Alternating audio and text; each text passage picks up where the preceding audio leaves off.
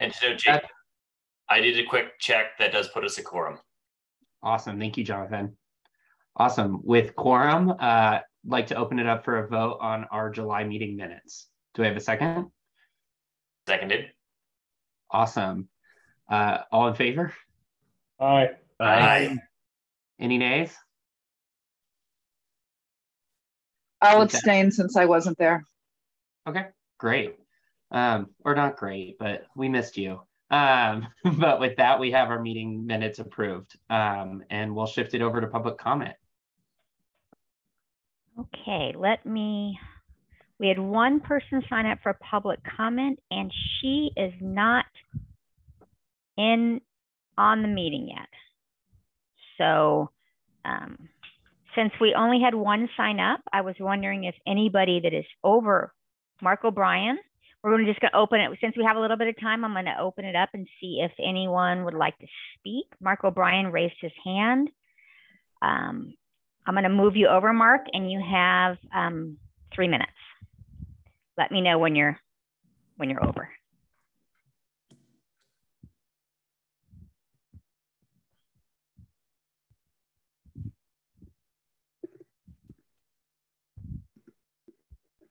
Mark, I, Mark, you have to um, accept. There you go. I think you're with us, Mark. I see you. Okay, am I with you? You are. Welcome. Okay. Hey, thank you very much. Uh, thanks for the opportunity and thanks for your work. And uh, I work in the community, a community advocate and outreach worker, and uh, just want to learn about, observe, listen. First time in one of your meetings. So, um, kind of the area I'm looking at right now is uh, fencing that's put up for large encampment, uh, large encampment encumbrance cleanups. Um, just making sure that uh, they have a traffic management plan, that they are uh, taking down the fencing after the uh, camping abatement, and that they're not blocking sidewalks and streets for uh, everybody, including uh, people with disabilities, non-sighted people, um, ADA type stuff. Um, uh, I've been kind of tuning in some of that. Also on the uh, fencing of uh, public right-of-way easements, um, noticing a lot of uh, areas where there's real safety issues. Um, I've had cyclists and pedestrians say that it's very concerning for them. Uh, bent T-posts, uh, mesh fencing on the ground, uh, people getting out of their cars, getting caught in the fencing, um, no room between the curb and the street and their car door and the rocks. Um, tunnel where it's very dangerous because razor scooters and bikes are coming down the sidewalk and uh, elderly people frail people said they've almost been run over and there's no way to step off you know onto the easement because it's fenced so um, want to just connect learn understand kind of where you guys are, are are at but those are the things i wanted to to touch on that i look forward to talking with you about going forward Thanks, Mark. thank you I have another hand up um, in the attendee side. Chris Nicholson, I'm going to um, promote you to panelist. You have to accept and let us know when you're you've joined us.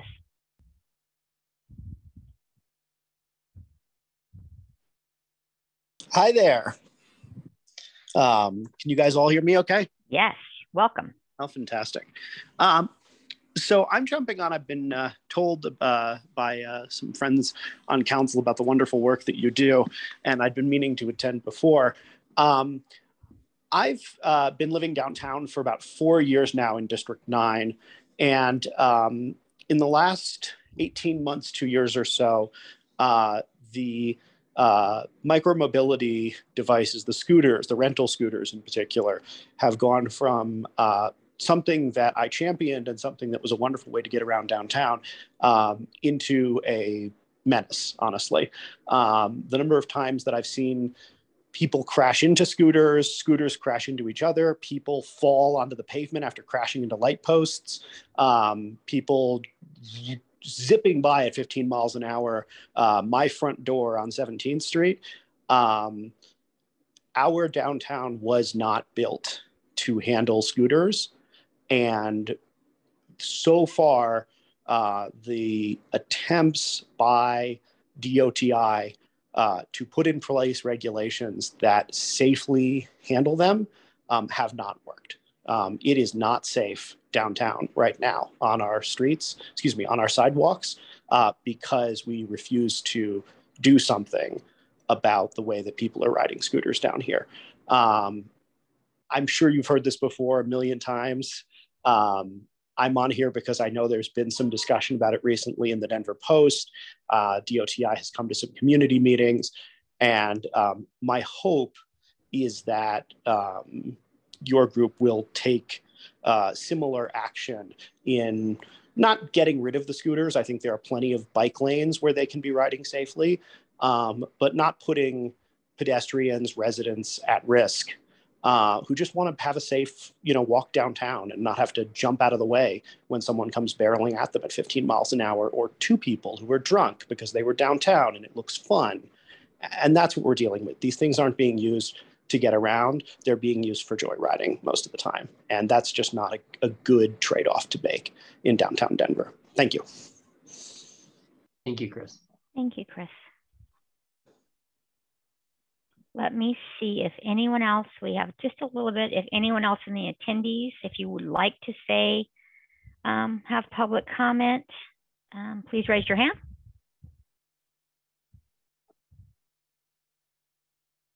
Okay, Jake, I don't see anything and I don't see um, Peggy Matthews Forney. She originally had signed up for speaker. We'll, we'll um, maybe tag back with her and see if she can make the next meeting. So I'll turn it back to you, Jake. Awesome. Thank you, Michelle.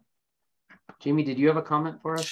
Yeah, just for clarification, uh, Mark, when we talk about those issues that you brought up, uh, we refer to that as right away.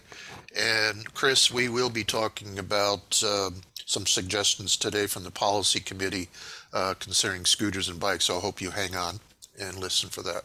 Thank you. All right. Thanks, Jamie. Uh, with public comment concluded, uh, we'll turn it over to the report from DOTI Leadership. Um, I do believe I saw Director Phipps on. I don't know if I think er, I think Earl Jackson, the CFO, is going to speak, and then um, perhaps um, Adam might speak afterwards. I'll turn it over to Earl, please. Artificial pressure for Director Phipps on my part. oh no, it's all is fine. Um, I'm actually going to go ahead and turn it over to Adam. I didn't have very many comments for today, other than that Nick is out on vacation this week. So uh, not a lot of remarks, but I know that Adam had uh, quite a few uh, to talk to today. So I'll give it to Adam. Yeah, uh, thank you, Earl, and uh, thank you, committee. Um, I do have to jump over to City Council here in a little bit, but just wanted to touch on uh, a little bit of what happened yesterday. So, um, for, as all of you are aware, we got quite the storm that came through Denver.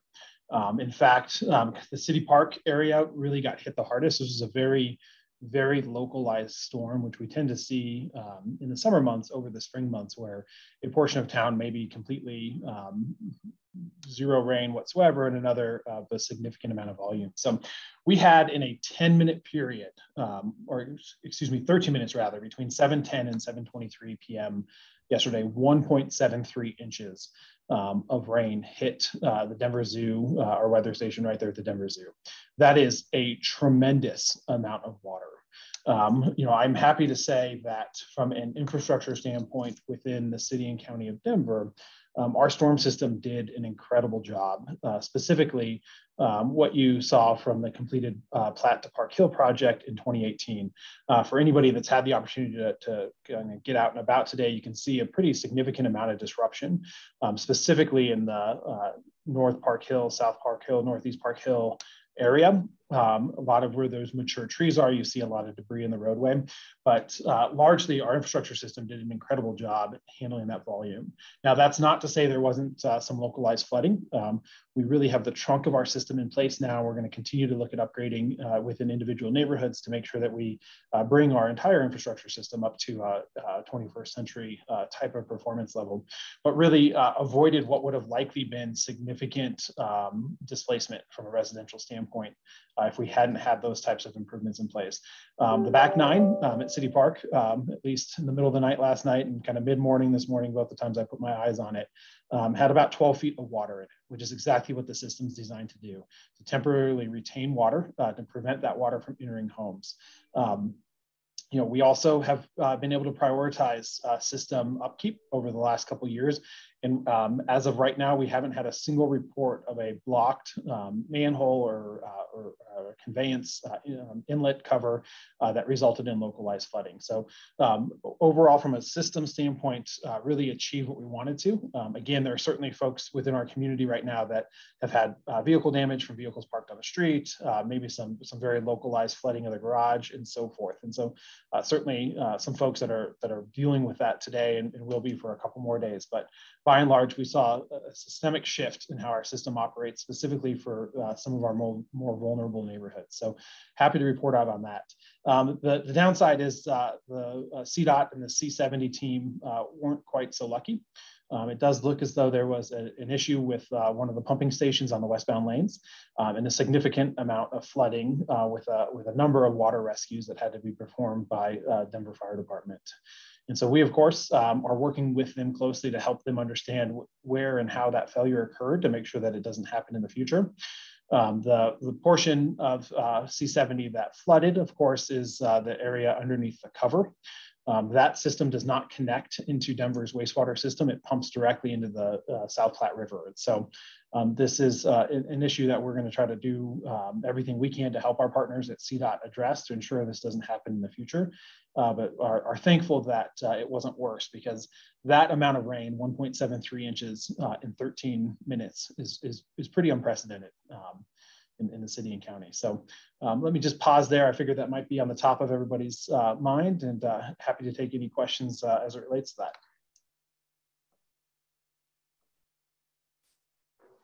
I have a question. Yeah.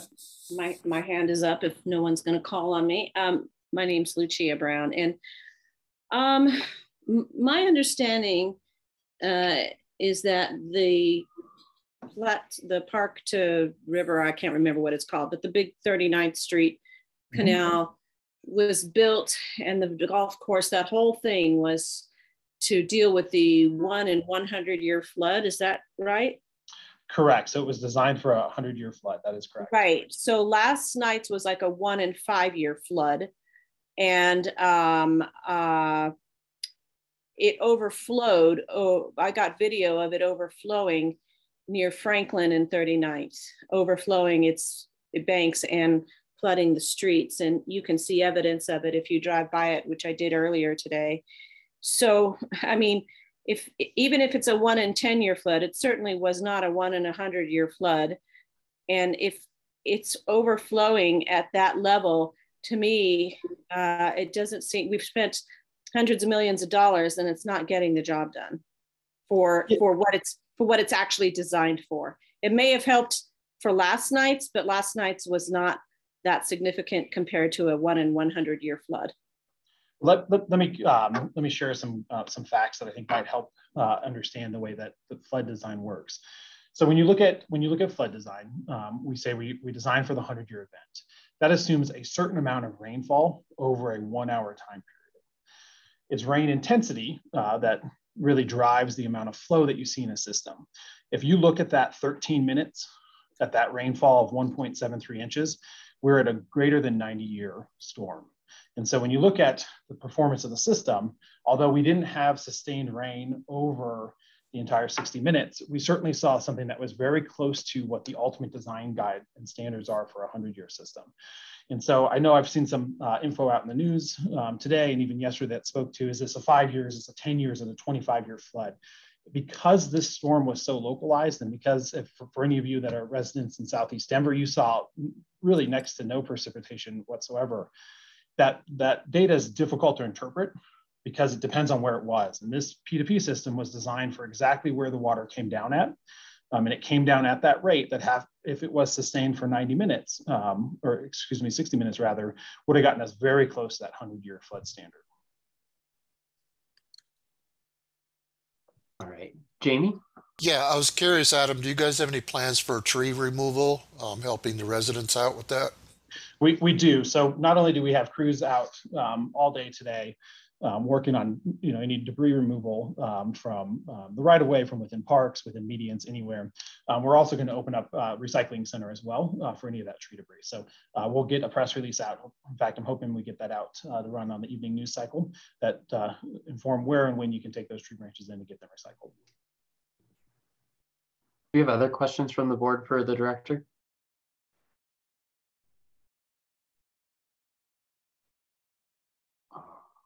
Right. I'm not seeing any director Phipps, which should get you back for city council in, in relatively good timing. So thank you for joining us today. Uh, certainly. And uh, as always, um, appreciate uh, all the work that everybody does, as well as our guests here that are listening in. And um, if you guys ever have any questions, comments, or concerns, you can certainly get those to Earl or Nick or uh, email myself directly. So again, thank you for your time and I'll see you guys later. Great. Thank you, Director Phipps.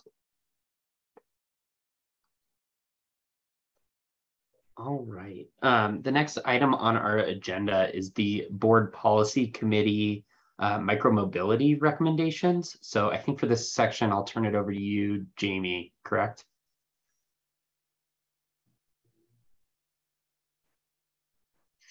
I think you might be on mute, Jamie. There we go. Thank you. Yeah, over the last uh, few months, uh, the policy committee's been kind of vetting out uh, things we could do for the micro transit issue concerning uh, scooters and bikes, and we came up with several uh, recommendations. Uh, this is not an exhaustive list, but we were just kind of trying to pick the low hanging fruit on things that could help improve um, uh, the operation of these devices. Um, I know the city is getting a lot of pressure, especially from the downtown businesses, to change something. Um, but we also know that there is a contract with the vendors, so we didn't want to, you know, get too deep into changing that or trying to alter that. Um, so we'll just we did send out this list earlier, so um, just just to briefly go through it, we our recommendation on bike corrals is to change the uh, ratio from 50 to 50 percent to 80 20. So basically, this is talking about where the corrals are located. Uh, it's either below curb or above curb. Uh, we prefer below curb. We think there's enough junk in the sidewalks right now that uh, because the sidewalks are not exactly up to standard yet, uh, that we would prefer that the bike corrals be in the street. And we also realize that it kind of has an uh, a great effect for people who are pedestrians. It kind of gives them a daylighting because if we use that first parking spot uh, near the intersection, it provides better sight for them down the street. Uh, we all thought, also saw, thought that uh, some signage, which could be in the form of stickers or using existing signs, uh, basically preferred scooter routes. We we figured that a lot of our visitors are using the scooters don't realize that adjacent to a lot of the routes they're, they're on, including Colfax, uh, Broadway, some of the larger streets that, uh, but usually a block or two away, that there's a bike lane that they could be using. Um, anecdotally, we realize that a lot of our people are asking for more bikes.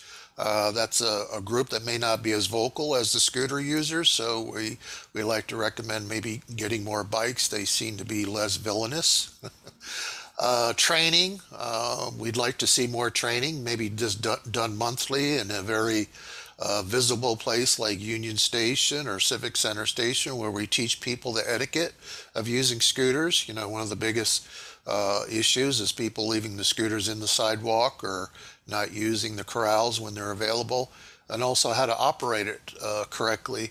Uh, we were told that uh, Denver Health re- averages about two to three patients a day on, on injuries relating to scooter and bikes. And we also mentioned messaging. Uh, we think that the, the app uh, could be uh, used for stronger language. Uh, like, for example, scooters are not allowed on the sidewalks or except for unloading. So these are some of the recommendations we're making. Well, we did have one comment.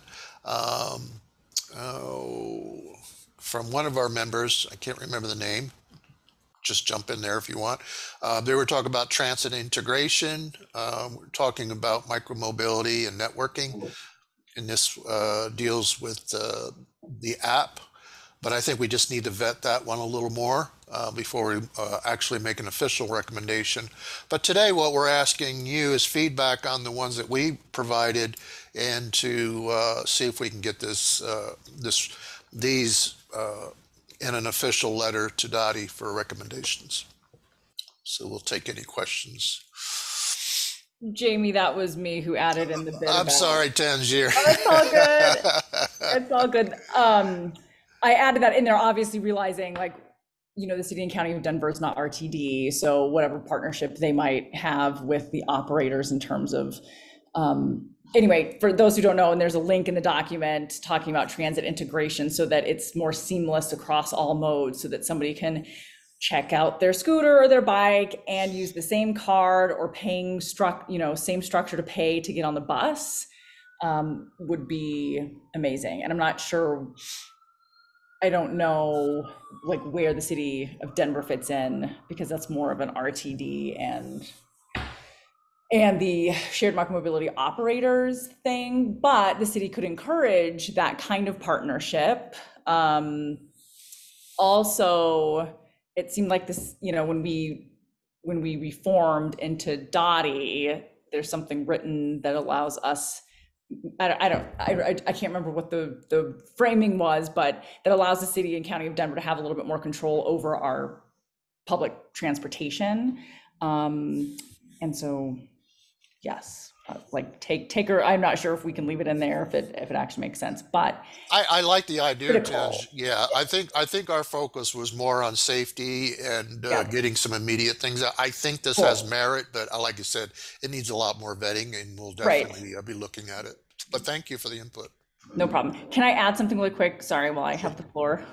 Um, I, I don't know, again, right there, Lime is actually testing sidewalk detection technology in Paris and other places. I don't know how close it is to coming to the United States, but it's happening. And so, because I missed the presentation, I don't have an intimate understanding of, of the city's like entire relationship with our operators, but is it something when the contracts are renewed that they can, you know, at least just say, hey, when can we get some sidewalk detection technology on your vehicles? Um, and I can put some links in here about some of that technology. That's it. Thank you, Tangier. Yeah, I think Jake could comment on that. I think he knows a little more about it. I think we've inquired. Uh, the technology still uh, developing, and uh, that's where I thought it was at. Go ahead, Jake. Yeah, I think um, Tangier, I'm I'm very interested in that technology and would like to see it advance. I think I think from even someone who would love for it to be implemented today, I think it's fair to admit it's not maybe not ready for game time um, at the moment. Um, but I do think that w- what we what we'd like to implore as a potential alternative is to meet in the middle um, and and kind of ask the uh, micromobility providers to be our partner in that. And, and if they are able to detect patterns that might indicate sidewalk detection, instead of uh, full stopping the vehicle when they may actually be on the road um, and potentially putting the rider in a dangerous situation, can they at the end of the ride inform the rider that they were riding on the sidewalk via the detection and kind of have an idea that there could be some change in behavior and incentivization from the micromobility provider that's an alternative to just shutting the vehicle down. Um, and I think that's um, kind of what we looked into a little bit further is, is, is there more of a middle ground here because that technology really um, does seem to have created a couple of dangerous incidents in other communities where it is in effect. So um, I think, and I think my understanding is that's where the department's been a little concerned historically. But if we could say, you know, three strikes of multiple rides riding on the sidewalk or something like that, where there Mhm. starts to be a policy developed directly with the micromobility companies, maybe we can get a better solution. Definitely. I have also heard about some the the safety issues that are created because scooters just shut down and you don't even know when it's going to happen. Yeah, totally.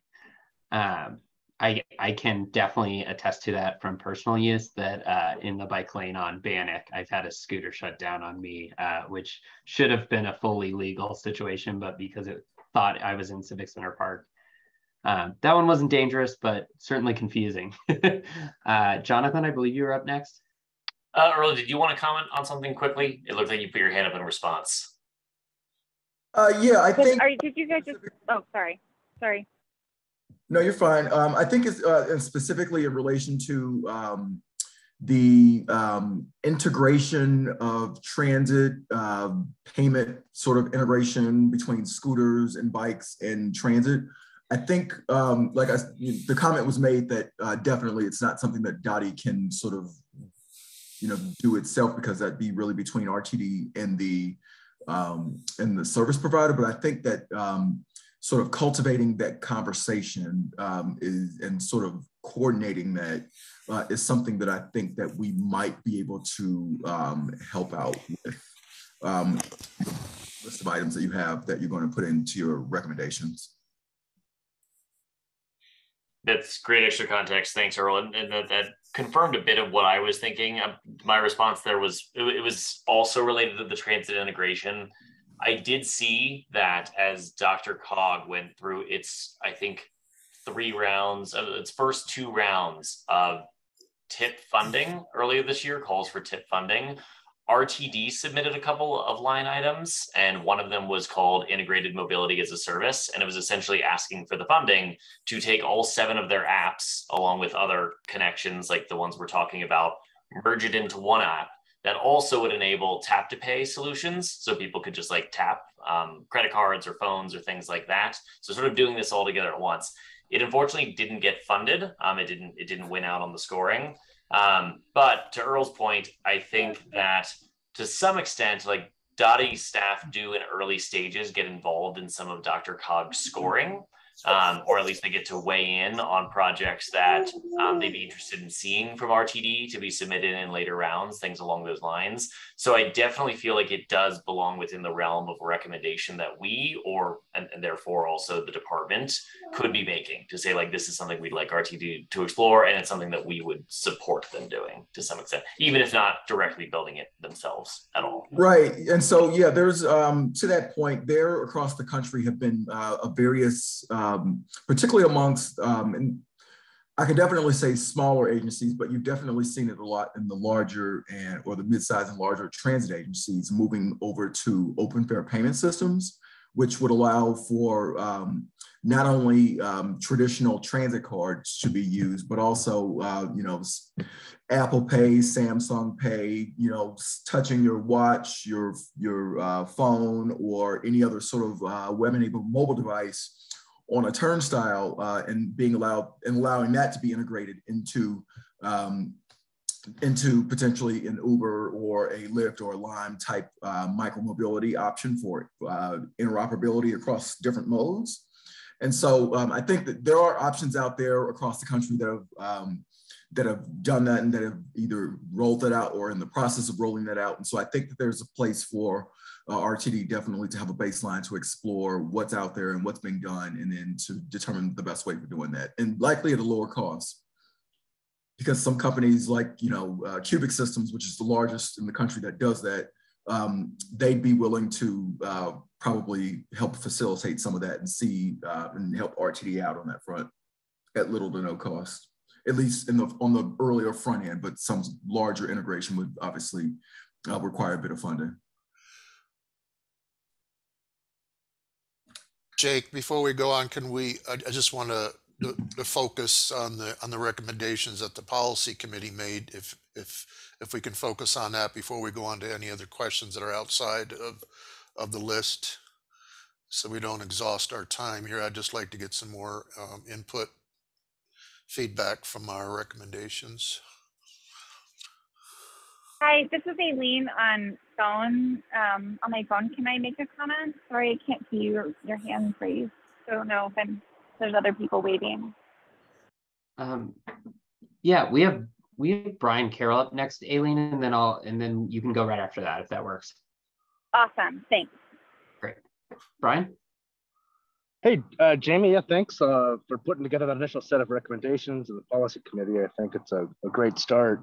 I think one of the things we should also be encouraging the city to do is to continue and also to expedite the build out of kind of separate infrastructure for wheeled mobility, you know, bikes and scooters. Um, I would love to see you know that as a part of any package of recommendation put in. Thank you. Aileen, all you. Awesome, thank you. Um, I sorry, I'm stuck at a train station right now, so so I'm not joining you on uh, the actual Zoom call. But the one thing I just wanted to point out as a point of clarification with all this conversation about um, sidewalk protection and riding on sidewalks and micro mobility on sidewalks is unless I'm unless I'm unaware that the rules have changed. Um, my understanding is at least with bicycles, you are allowed to ride your bike on the sidewalk. I believe for less than a side or a less than a um, city block length, or there's a specific there's a specific length you're allowed to ride um, on a block. To my and my understanding was that that was changed a number of years ago to allow for people to you know access their destination or make a, a you know adjustment in their route. Um, certainly not encouraging continuous sidewalk use, but there is some level of sidewalk use allowed. So I don't know how the city's policy or rules on that would align with um, then the micromobility uh, detection, sidewalk detection devices. Just, I just don't want us to forget that in some cases, sidewalk riding is allowed. Um, Aileen, this is Tangier. Yeah, this was just specifically for scooters, not bikes. I, is, I, and that's, that's thank detection. you for reminding me. Is there it, are scooters? I can't even honestly remember what is allowed for scooters. I can comment briefly on that. There are two areas that times you are allowed to ride on sidewalks. Um, you can ride on a sidewalk if it's part of a designated bike route. You can also ride on a sidewalk if you are parking or um, essentially the, the loading unloading situation. Yeah. And that's applicable to sidewalks oh, sorry, um, scooters and bikes? That's that's specifically for scooters. Um, bikes actually have some expanded permissions beyond that. Um, scooters were narrowed to just those two cases. Got it. Thank you.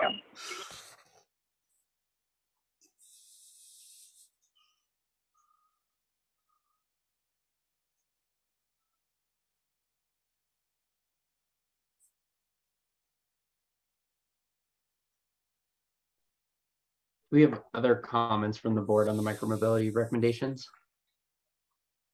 Yes. Uh, sorry, got, got my hand up here. The um, two things. One, briefly, apologies for those um, viewing the meeting here that can't see these. I've been trying to get them up to display, but I'm having some difficulty sharing my screen. Um, so, so just for like the general public watching, they've, they've heard us describe it, but, but aren't seeing what we're talking over, which is probably a little confusing. Um, did want to call out one of my comments on this. I, I'd left in the document. I'm personally not a fan of including the training recommendation. To clarify for those who can't see, um, this is a recommendation that the companies provide, uh, say, monthly training in a central and visible location, like regarding how to ride these scooters and bikes safely. My commentary here is, is essentially that we're having vendors, we would be suggesting vendors spend time and money on educational efforts that I expect won't have an impact. Um, it feels a lot like some of the state spending on state DOT spending on driver education efforts that don't prove to move the needle on safe driving behavior. And I'd much rather see these organizations, the vendors, use this time and money to spend on the more expensive street level corral builds or other things where I think that there will be a high impact per dollar. Um, totally separately, like this is anecdotal, but I have had friends who have been injured on scooters and there's just no way they would have attended a scootering class. Like it would, they wouldn't have done it. It wouldn't have helped them. It wouldn't have prevented their situation. Um, they were injured by surprise or by being struck by someone else riding a different vehicle. Um, so in, in, all this sense, recognizing that there is, there are like two to three pa- patients a day injured uh, showing up to Denver Health. I don't really think like spending money on these sort of awareness campaigns for the scooter riders would be an effective use of the money. I'd rather see them spending it on things like the corral parking or, you know, helping support the development of safe separated routes. So something else along those lines. Thank you for that input, Jonathan. I, I don't think there's really, there's no silver bullet to any of these uh, recommendations. Uh, I think it has to be a combination of all. And even if the education only affected 10% of the population, I think that would be a success. I think it's just changing the behavior, uh, maybe getting to some of the younger drivers. I know as a parent, if I was, if my teenagers wanted to start using it and I saw that opportunity for training, I would definitely influence them to go and learn. Um, so again, I don't think any of these individually is a silver bullet, but I think as a combination, I think it works.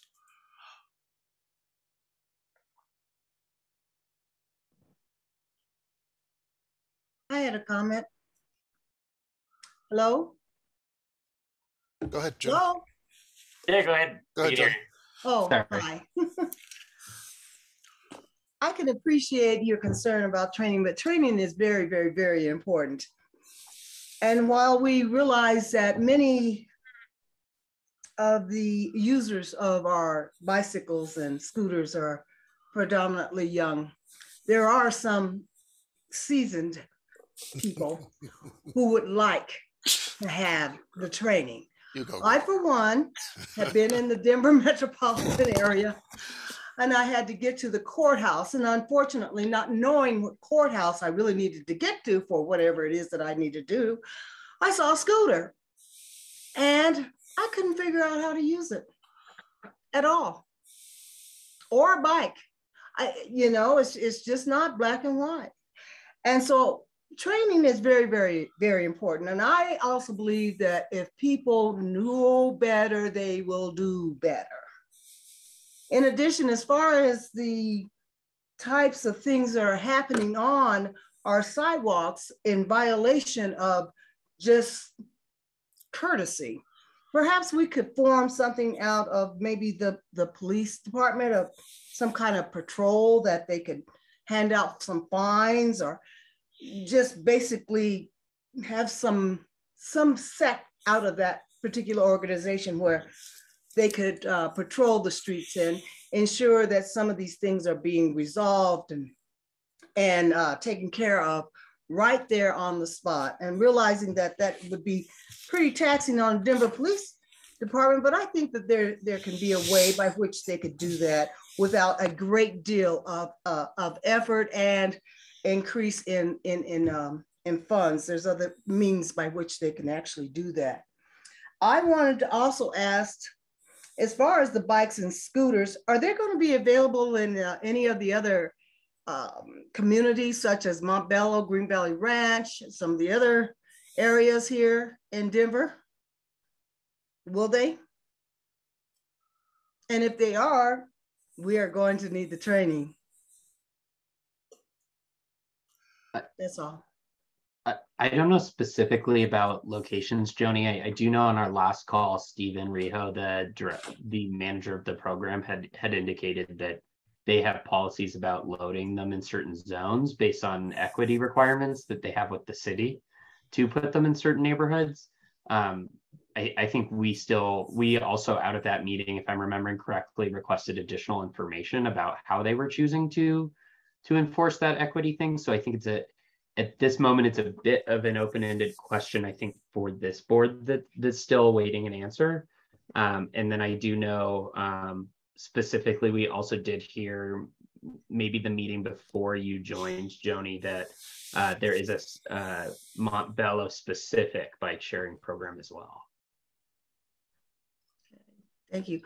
Yeah. Thank you. Of course. So is there anybody from the policy group, Joe, uh, Jake, that'd like to kind of wrap this up and before we vote? Well, um, yeah, I mean, we, we looked at sort of the main issues and obviously there's some pros and cons to everything, but we think, as Jamie said, it's pretty well rounded in what we're trying to do. And maybe, you know, the education doesn't have to be the same period or something, but as I think everybody's saying, there's got to be some kind of training or some availability of training and maybe stress it a little more.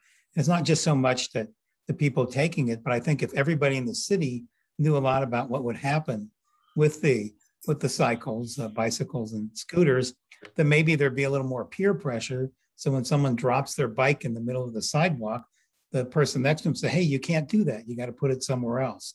So I think that's good, and and probably again, to repeat what Jamie said, once you start these corrals, I agree, that's got to be the primary thing. But then I think everything's got to follow uh, in its kind. So I, I like the list. It could be a lot more involved, and, but I think it's a good start. So. Lucia, Gary, do you have any comments before we wrap up?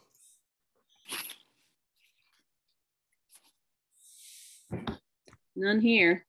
I think you guys did a great job. I missed the last policy meeting, so. You still provide a lot of good input. Thank you, Lucia. Gary? Okay.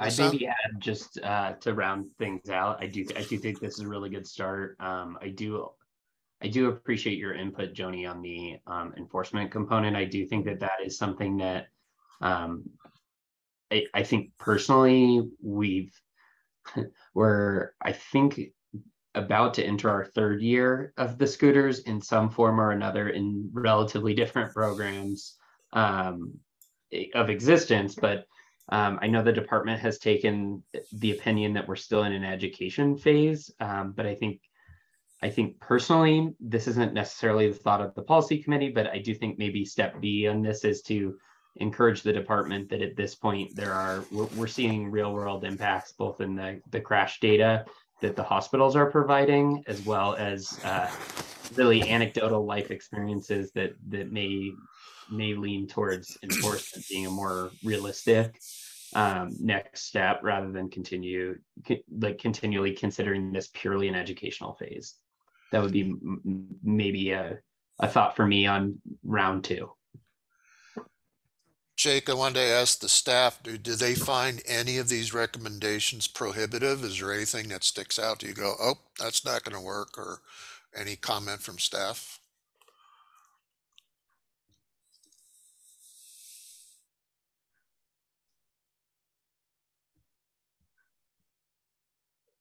Do I don't believe we have anyone specific to the team working on the scooters on the line, so might we might not have a direct response.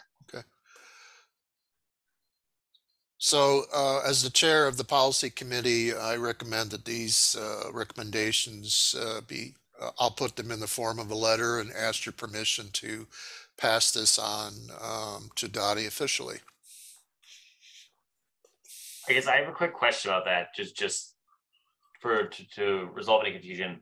We'd sent out a version of this document for people to comment on. That is where Tangier added her section on transit integration there were a couple of other comments from Julie and I, including a couple requests for edits or clarifications around what is and what is not allowed. Um, so I, I guess what which version of this are we voting on? Are we are, are we voting on like the version I'm showing on my screen, or is there going to be like another version we'd want to clean up to send? Um, well, we talked about earlier uh, the transit integration uh, that has to be vetted, so that would be dropped. And I can make any uh, other edits that were available that don't change the purpose of the statement. So, okay, so you're requesting we vote on a version of this that does not include transit integration, um, does not edit the training segment, um, probably only includes the edit around clarifying when someone can or can't ride on a sidewalk, just to be more specific. Correct. Okay. Correct. I'd like to request that we wait to see the final language before a vote. We actually, with the per our bylaws, we, we can actually pretty easily do that. Um, Jamie, if you want to put together the final language, we can vote on this electronically, like just in the next week or so. If you just send out a, if we send out a poll, say like, hey, do you approve this new language? I think that's good. I, I wouldn't want to wait another month considering all the work the panel did or yep. policy committee did. So totally. yeah, I can get that out tomorrow and uh, appreciate all the input that was given to us. Thank you. Great. Thank you, Jamie. Um, and just double checking, Johnny, did you have a question or comment? Is no, I don't know why my hand is not down. Like, there we go. Okay, no worries. I just want to make sure. Oh, here we go. Now I can get to my screen and say lower hand. Okay, I'm good. All right, perfect. All right, um, unless there are any other comments on the micromobility recommendations, uh, we'll go ahead and move to our community report section. Um, for this section, the purpose of this is for board members to share what they're hearing from their communities i.e. the districts there's they're representing or the communities that they've been appointed to uh, if they are not district specific.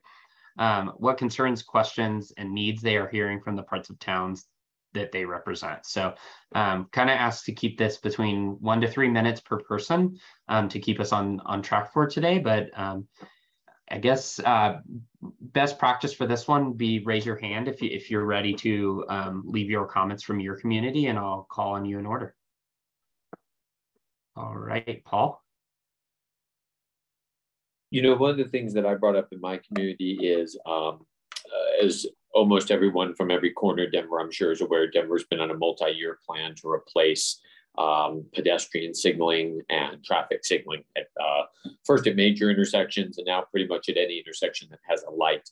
And one of the things I've noticed is there's a couple intersections in town where DOTI has laid down the new infrastructure essentially behind to, on top of, or right next to the existing infrastructure uh, with a multi-week, if not month overlap in um, removing old infrastructure, which can temporarily create situations where you have effectively uh, uh, non-operational lights sitting within inches of regular lights, which, you know, I, I know the city like the back of my hand. I know these intersections well, but visually it's uh, incredibly confusing at times.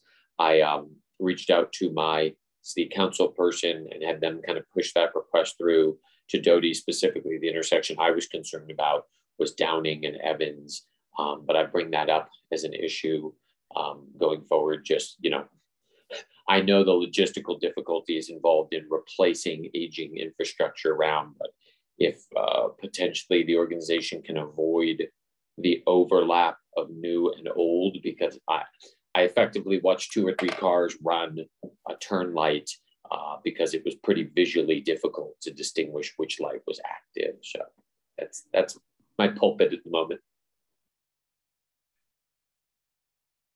Thank you, Paul. Lucia?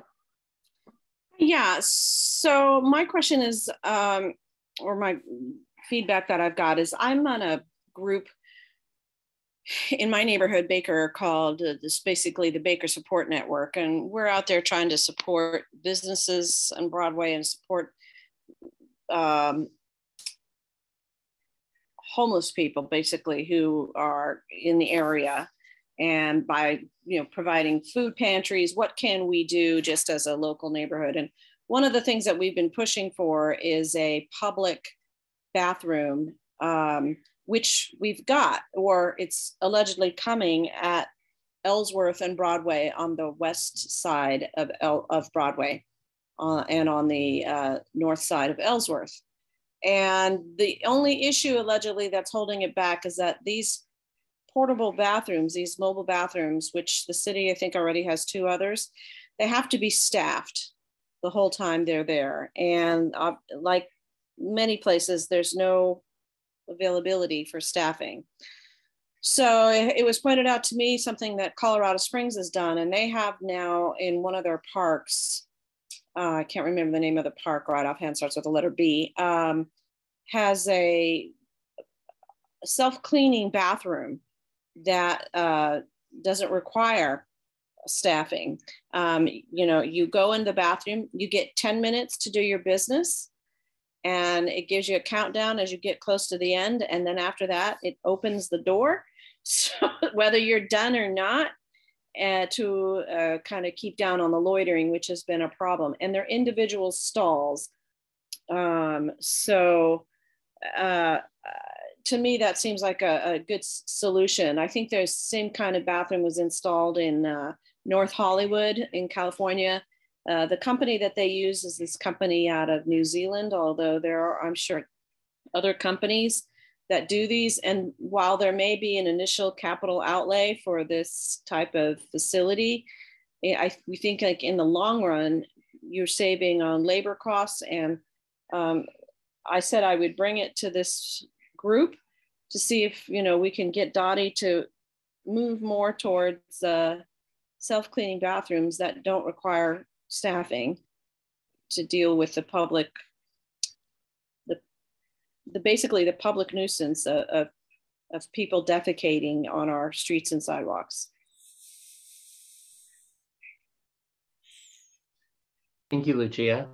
Uh, Joe?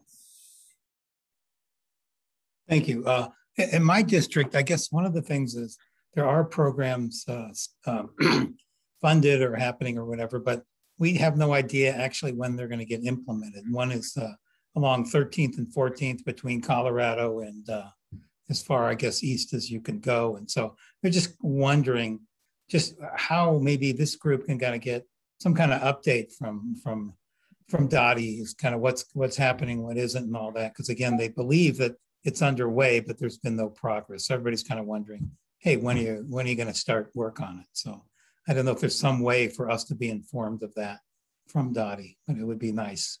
So that's my question. Thank you, Joe. Um, on my screen, I'm next, so I'll I'll go ahead and uh, promote myself uh, at the moment. Um, so for I represent District 10, and I think from District 10, we're seeing four issues that I can and basically continuously hearing from the community. Um, some of these are basically since the moment of my appointment, I've gotten numerous uh, communications from them. I think without a doubt in District 10, the thing that we hear the most is uh, right of way enforcement. Um, things in the right of way, cars in bike lanes, objects in tree lawns, utility companies parked on sidewalks, utility companies parked on uh, private property, uh, utility companies uh, occupying some space and refusing to provide a permit or indicate that they have the right to be there, um, and uh, and not moving when when refusing to provide one. Um, also, companies putting up no parking signs without any seeming authority.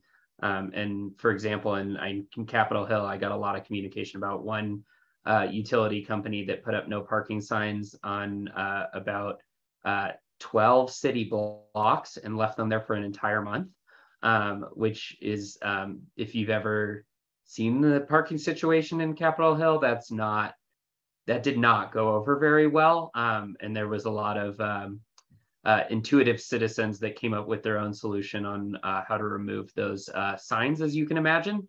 Um, so uh, I would say that without a doubt, um, broadly, right of way enforcement in District 10 is the thing that I hear from uh, from residents, and and I'm I'm not exaggerating when I say I get a get a communication, uh, if not daily, at least every other day about the right of way enforcement issues in in the District 10 area. Um, the with that paired closely is sidewalk access, particularly in Golden Triangle near um, construction sites and developments. I know last a uh, couple of meetings ago we got um, communication on the detour program. Um, I think there are still quite a few sites in particularly the Golden Triangle neighborhood that's causing a lot of pain as that's a high uh, pedestrian trafficked neighborhood uh, where um, some of these grandfathered in projects are causing a lot of communal pain um, and requests directly to the development companies have gone kind of unheeded. Um, thirdly, and sorry, these are the ones I'm actually for my community, so I apologize if I'm taking too much time, but Vision Zero concerns are are are increasing actually for me and how often I'm hearing them, particularly speeding. Um, widespread reports of uh, red light traffic running uh, and, and even vehicles that are stopping at red lights, acknowledging that they know they're red and then they're going anyway um, as well as uh, the sidewalk scooter riding that we've heard about a lot. Um, these are these are ones that are making people feel unsafe that I'm hearing about a lot. And then lastly, uh, trash pickup situation in Co Congress Park. Um, the uh, for for those that are unaware, uh, in Congress Park, there's been some pain around uh, trash pickup has moved from the alleys to the front of the homes for for that neighborhood. I, I believe that neighborhood exclusively. Um, and so it's been causing some pain, especially on some of the hills. I, I my understanding is that they uh, the, the trash cans are basically uh, getting a mind of their own and rolling down the hills and things. Um, so uh, some issues with that as well. But those are the four things from District 10 we're hearing: right-of-way enforcement, sidewalk access, Vision Zero concerns, and then trash pickup. So thank you, Alan. Thanks, Jake. Um, here in District 1 on the north side, anecdotally and speaking with folks in the RNOs and communities, we hear a lot of requests for very um, simple things crosswalks, more stop signs, Um, a lot of that, similar to what Jake said, related to seeing a lot of speeding in the neighborhood, um, want more safe infrastructure for people to be able to walk, lack of sidewalks. Um, also in some of the business centers, places like 32nd and Lowell and, and Tennyson would love some more safe ways for people to cross the street due to speeding issues there. And people want to be able to patronize the businesses, but sometimes feel unsafe walking, biking, or taking transit to get there.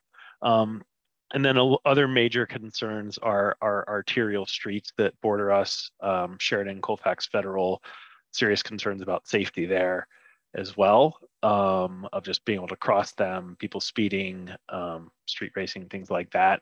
And then um, last of all, just general concerns about safe route to schools for, for children in the neighborhood. I've heard um, and, and met with a few neighborhood residents that they would like um, there to be safer access around the schools, again, more crosswalks, um, median refuges, other things like that that would be helpful for people just to, for helpful for their kids just to get to school. That's it. Thank you. Thank you, Alan. Christopher?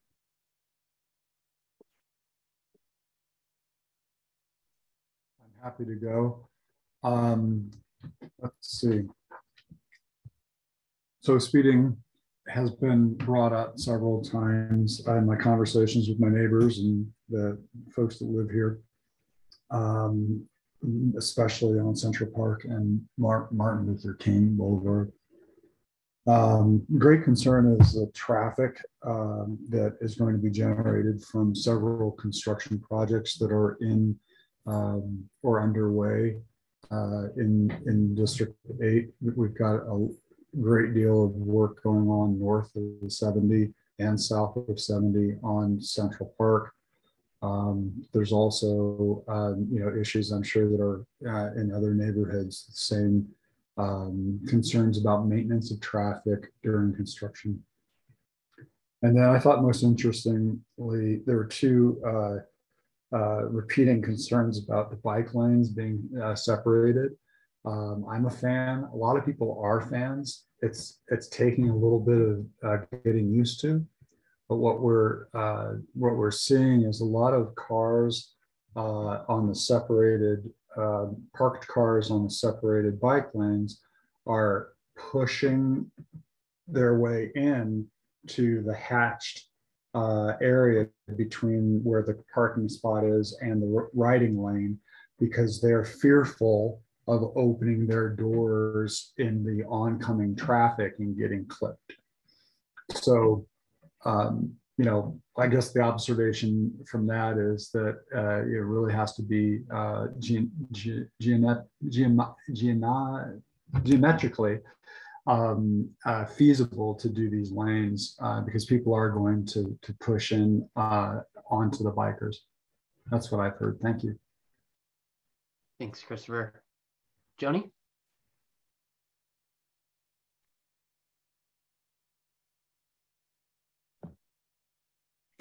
First of all, I want to say on behalf of uh, District 11, it appears that we're pretty excited about the expansion of 56th Avenue. And we just want to know if that project is on schedule. And are there any concerns um, regarding the, the current process of the, of the project? Does anyone know? Did anyone hear me? We heard you, Joni. Um, okay. I don't know if yes, yes. Well, um, I hear you, Joni. This is Michelle. Okay. Um, but there isn't anyone on on for DOTI right now. But I think what we're doing is just accumulating all the questions and the feedback from everyone, and then we'll put a whole lo- large list, and then um, come back, have people come back and report. But thank you. Okay. The other thing uh, is that I I, I know uh, this is only my second month, but I hear a lot uh, from some people here uh, regarding the street barriers that were put down in, in Montbello and some places in, in uh, Green Valley Ranch. And, and I, I, I guess I, I don't know the purpose of the, the street barriers. Uh, can someone help me out on that? Or you want to talk with me offline? Or how can I gain more information about the purpose of uh, having those, those barriers on, uh, on the streets? Michelle, is that something we can put on the same list and get back to Joni on? Yes, yes, please. And and and and everything also else that everyone's bringing up. This is a great time for us to get community feedback, and we'll put it on a list, and we'll start targeting the people that that we can get in front of um, the advisory board to be able to answer those questions. Thank you. Yeah, thanks, Joni. Thank Hey, Michelle, it's Earl here as well. Also, um, I think with just queuing up the questions and listing them up, we could probably get a more um, comprehensive answer on a lot of these, particularly this last one as well. So, Definitely. Sounds great. Thanks, Earl. mhm. Thank, you, Earl and Michelle. Julie? Thanks. Um, I- I, you know, everything I've heard, I, I agree with, um, particularly the speeding and, um, and the bathroom thing was, I didn't know there was such a thing as self-cleaning bathrooms. Um, and I don't, so I have two things. One is I don't know if it's, uh, if, if this is even in what DOTI does, but when people are talking about the trash, um, there seems to be confusion in the parks of what you do in, do- like around dog poop. Um, and like where like there i know in our neighborhood like there aren't signs um there i noticed there bat like bags given in some neighborhoods but not in not in our district. Um and so like there was this one place where i thought you were supposed to put it and then some guy who was worked for the city said oh no that's not where you're supposed to put it. That's where bags are supposed to go. So it would just be good to tell people um a lot of the parks don't have um, some of the parks do not have even trash cans or not many um, and then the other thing which i don't think is is in any way unique to district 9 is and, and i don't again i don't know where DOTI inter, intersects with rtd but we've just been doing some work on the you know people not feeling safe on the rtd buses. Um, you know there was that stabbing and that was i believe in district 10 um, or somewhere on colfax a few weeks ago and i think the drivers aren't feeling safe and not feeling supported. So i don't know if there's anything we can do but i'm just kind of talking about it everywhere i go because i think it's it's a community wide issue. And if we don't have if we don't have transit if people if choice riders don't take trans don't want to take transit you know they might get out of their cars a little bit for august but they're not going to stay on it and if we don't have the choice riders, we're not going to have the ridership that will get service back up to where it needs to be because it's still at pre-pandemic levels. They still have a staffing problem, all of that. So I just think it that it needs to be taken as a community issue of how do we make transit work for everyone? Because as long as it's just the people who have to be on the bus, which is you know, mostly low income, older and disabled people and the drivers, that isn't enough, I think, for the government to vow to make it work well. So we need those choice riders if we want, and if we want the environment to work, transit has to work. Thank you so much, Julie. Uh, Gary Johnson?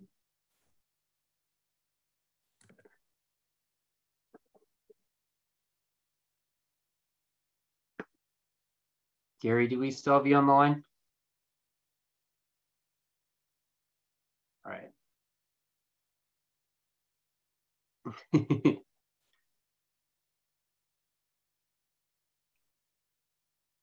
I think we still have you on mute, Gary.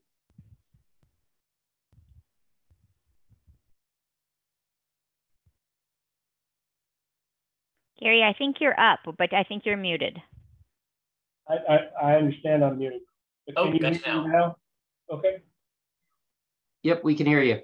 Oh, okay, good. My, my, uh, my little microphone shut up. But anyway, I uh, um, was interested in hearing several of you, uh, Paul, Jake, Alan, um, Christopher, uh, to a degree, mention uh, pedestrians. And I think uh, in light of Vision Zero, um, there ought to be a focus amongst the many other things that DOTI does, but nonetheless a focus on the uh, upgrading and or application of appropriate uh, measures, uh, mitigation measures that uh, crosswalks. And, and, specifically in District 2, I know of one such crosswalk, crosswalk that uh, is a very mysterious uh, situation at um, on Grant Ranch Boulevard. And um, but again, it if there's one instance, and you've all mentioned several others, that I think it would be wise to encourage an inventory. Um, I know you can go to uh, the Boulder website uh, and you can see every uh, crosswalk shown on a GIS uh, mapping um, and the current situation for each one of those. So I think if I were not to it too much, uh, pedestrian crosswalk um, issues, uh, I would like to have that addressed now and in the near future, and I'd be more than happy um, to lend any expertise I have in, the, in that regard. Um, just and real quick, lastly, I uh, I am very interested in the budget, and I know that we're in a process of of um, of developing the budget for next year, but I'm also very interested to see how the progress has been over the last year in meeting that budget. And I would hope that, that some of that information might be uh, available. So, and I'll leave it at that, and I'll continue to watch my microphone Thanks, Gary. Jonathan? Yes, hey, thanks. Um, although I am a mayoral appointee, as we don't currently have a District 3 member, I figure I should probably report out on what I'm hearing in District 3 from uh, community members at meetings, RNOs, etc. Um, largely to keep it brief, um, echoing a lot of what I've heard from Gary and Alan and others around um, wanting more crosswalks, wanting more stop signs.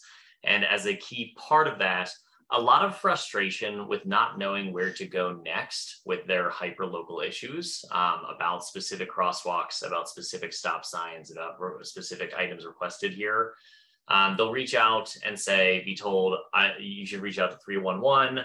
They'll reach out to 311 and have their case closed with a message that, you know, this, this intersection doesn't meet standards for a crosswalk or something along those lines and then they don't know where to go next because they're saying, well, then uh, clearly the, the, standards aren't very good. Who do I complain to about the standards? But they're not given the name of the standards. You can't respond to 311 cases that are closed, um, etc. Um, and, and with those standards, a lot of frustration around what they at least by rumor have heard they are. They'll, you know, they've heard in a meeting, well, not enough people have been injured here uh, for that, or not enough people cross here but they say, how do you know how many people cross here? No one's ever out here measuring it. Um, so, you know, we're we're somewhat of like transportation or infrastructure nerds here in this room. We probably know a little bit about more about how to direct um, our complaints, concerns, research standards a little bit more. But just for the folks who are just members of the neighborhood and don't, you know, dive into this on a regular basis, they're just really confused as to, to where to go next um, because 311 is what they're always told and it doesn't seem to meet meet the needs that they're asking for.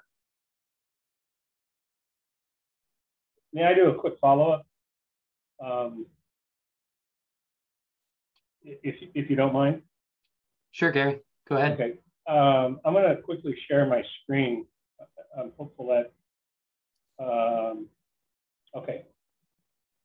And that's fine. I understand that we're disabled, but but I will want to direct you to a document that. Uh, Gary, you can you can share it now. I oh, just made okay. you a co-host. Thank you mm-hmm.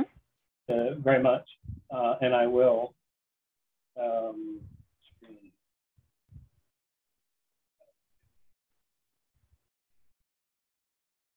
this is a document that was prepared in 2016, if you all can see it. Uh, City and County of Denver has a guideline uh, for uncontrolled pedestrian crossings.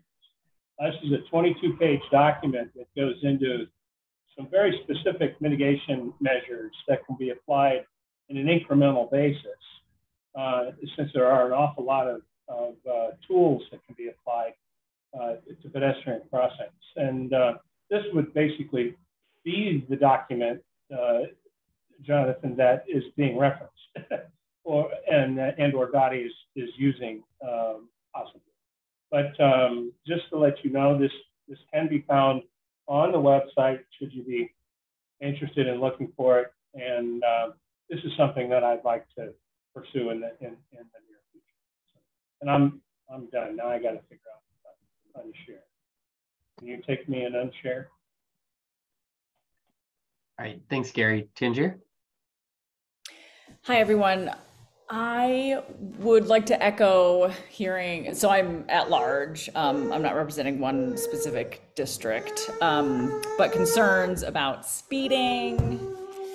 And I'm curious as I was doing the participatory budgeting um, exercise like last week, it was all about um, mobility. And I found myself wondering about 13th and 14th Avenues. And I've talked about it with my immediate neighbors, not not at a neighborhood level yet, but 13th and 14th are one ways. And I live just east of Colorado Boulevard.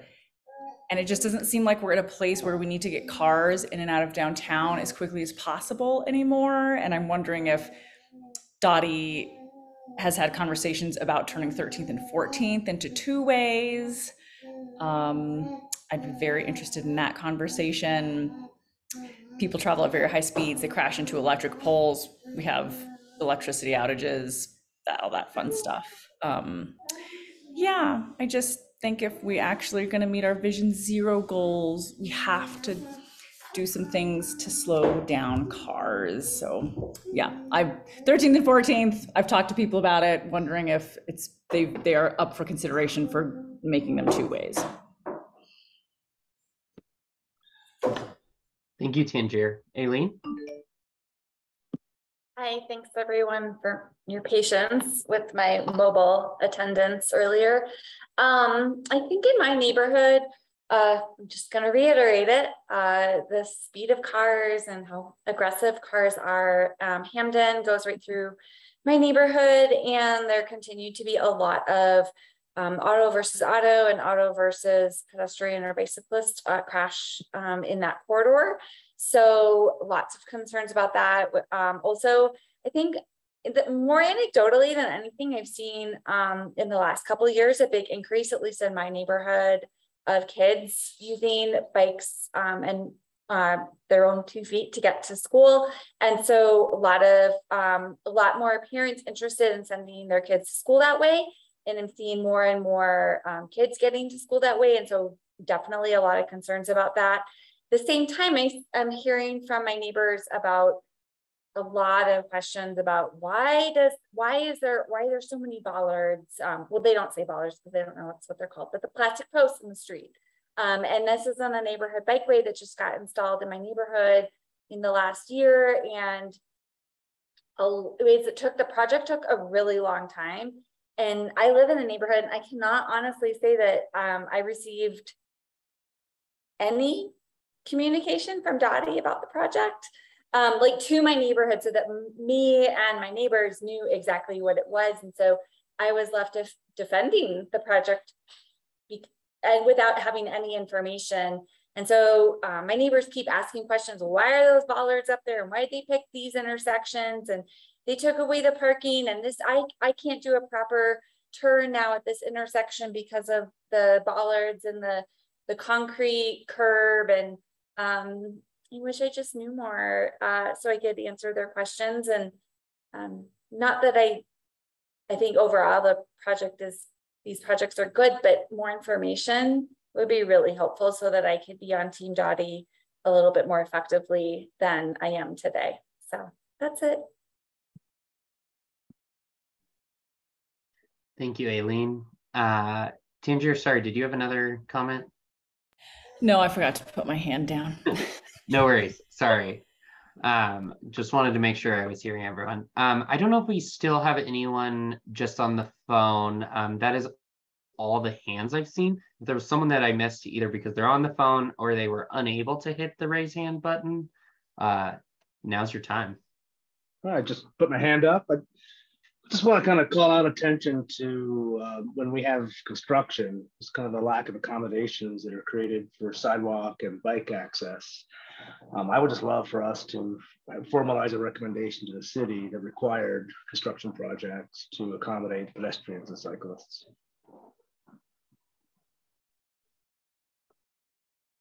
I agree. That was a powerful hand raise and comment. So thank you, Brian. Anyone else that we may have missed?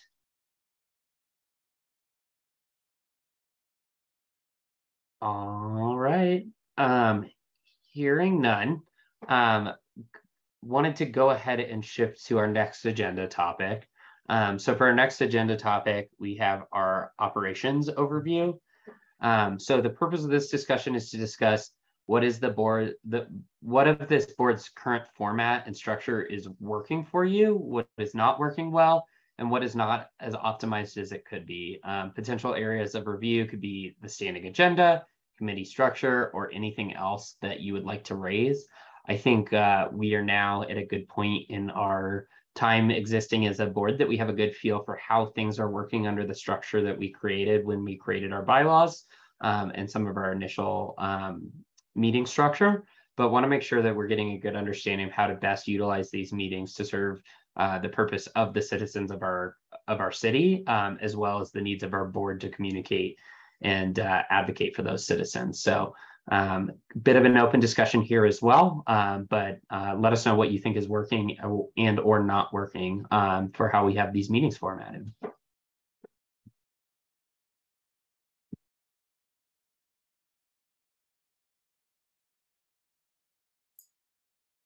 Jake, this is uh, Jamie. Um, I'm just curious when we do have public uh, comment, uh, is DOTI getting back to these people? I know sometimes I've reached out to them to answer a question or or uh, show them appreciation for this uh, for their willingness to step up. So I'm just curious how that communication link works between DOTI and uh, public speakers.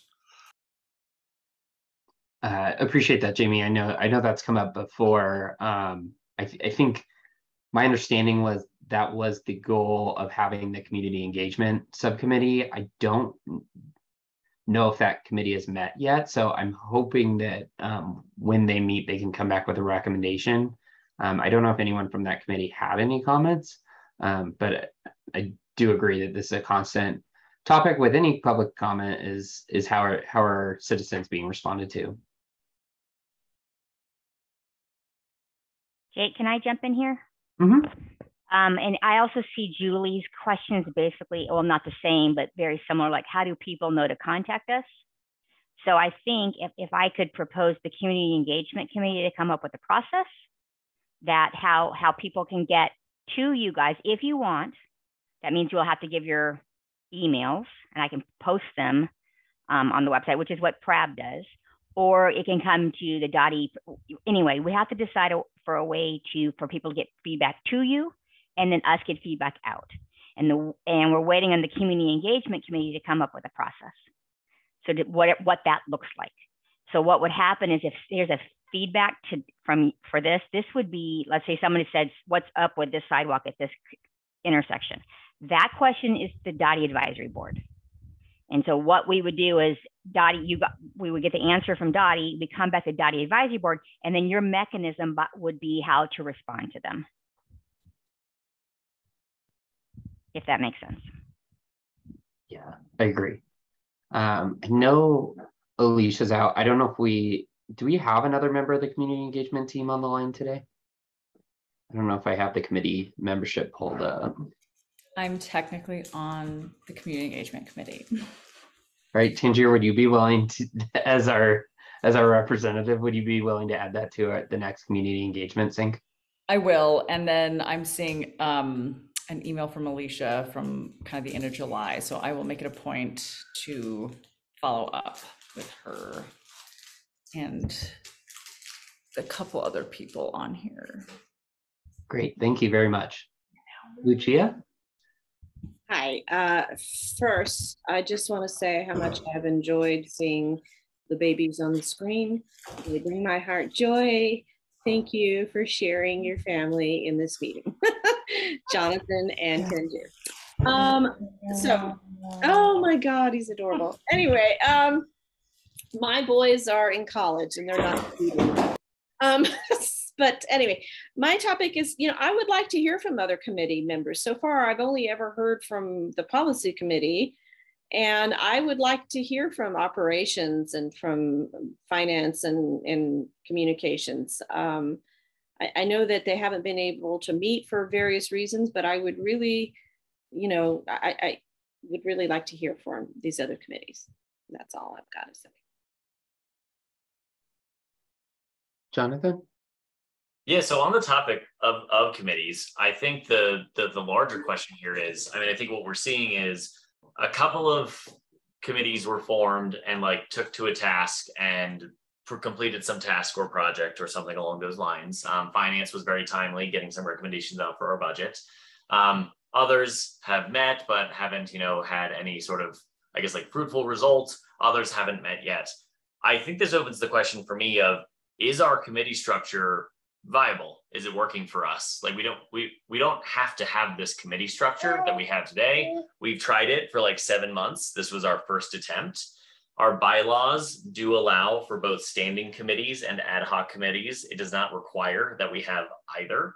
Um, I was talking to Brian a little bit about this before. He's got a lot of experience on MBAC and others where what some some things have worked, some haven't.